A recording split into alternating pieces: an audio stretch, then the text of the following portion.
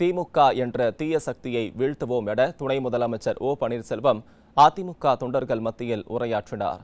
செங்கல்பட்டு மாவட்டம் திருக்கடகுன்றத்தில் நடைபெற்ற எம்ஜிஆர் பிறந்தநாள் விழாவில் துணை முதலமைச்சர் ஓ பன்னீர்செல்வம் கலந்து கொண்டார். நிகழ்ச்சியில் பேசிய துணை முதலமைச்சர் நடந்து முடிந்த ஊரக உள்ளாட்சி தேர்தலில் மக்கள் திமுகவுக்கு நல்ல பாடம் புகட்டியுள்ளதாக கூறினார்.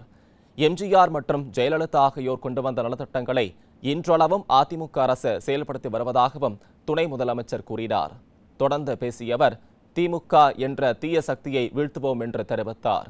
விழாவில் நான்கு லட்சம் ரூபாய் மதிப்புள்ள நலத்திட்ட உதவிகளை பயனாளிகளுக்கு துணை முதலமைச்சர் வழங்கினார்.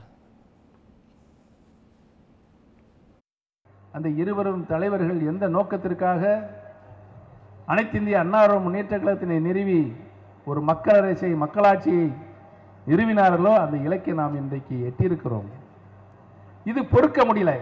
யாருக்கு? திமுக தலைவராக பொறுப்பேற்றிருக்கிற ஸ்டாலினுக்கு. அவருக்கு ஒரு ஆசை. எப்படியாவது முதலமைச்சராயிரும் சொல்லிட்டு. எப்படியாவது முதலமைச்சராயிரும் சொல்லிட்டு. இந்த வடிவேல் படத்தில் வந்து கதை மாதிரி தான் அப்போ.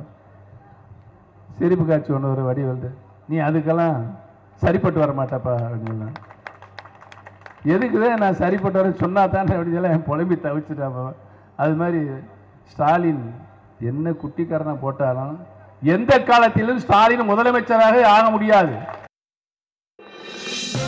இது போன்ற முக்கிய வீடியோக்களை உடனுக்குடன் தெரிந்து கொள்ள நியூஸ் ஜே யூடியூப் சேனலை சப்ஸ்கிரைப் செய்யுங்கள்.